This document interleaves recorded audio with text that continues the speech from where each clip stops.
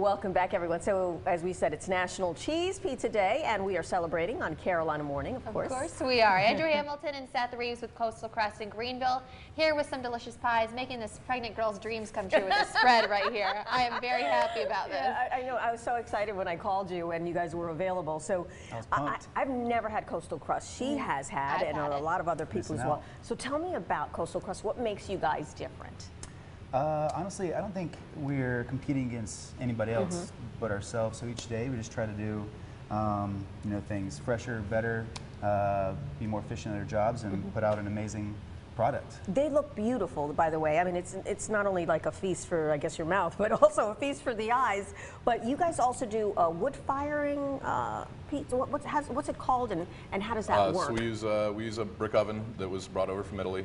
Uh, we use you can see here on the table that's uh, holding up our little menus. There is uh, all white oak. Uh, we start a fire every morning. Walking in the door is um, build a little build a little house out of your wood and uh, let it sit for about 10 minutes to get nice and dry.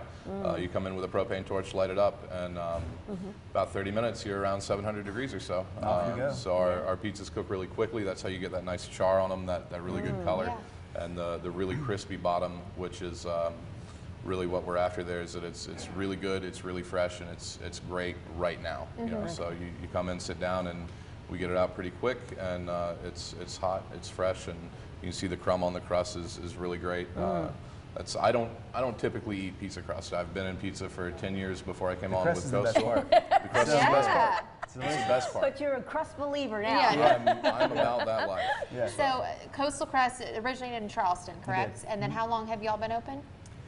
Maybe six weeks. Okay. Yeah, You, you're located where? Pendleton? on Pendleton Street in the uh, West Village. Okay.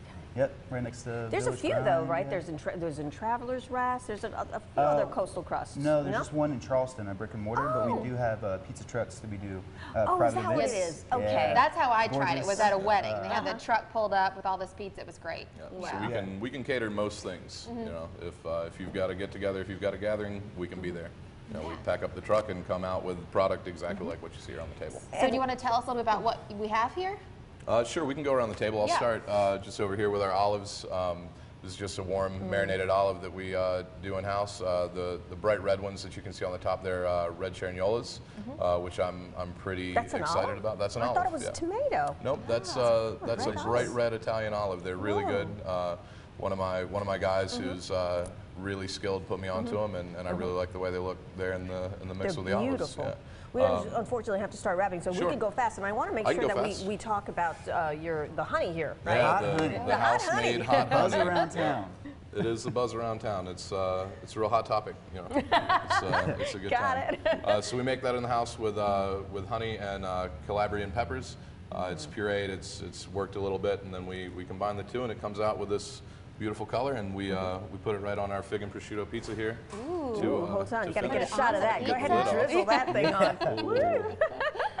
Got to get it There we open, go. yeah. That one will come out for me. So it goes just right on top with that smoked blue cheese, the sweet fig, the salty uh, prosciutto there.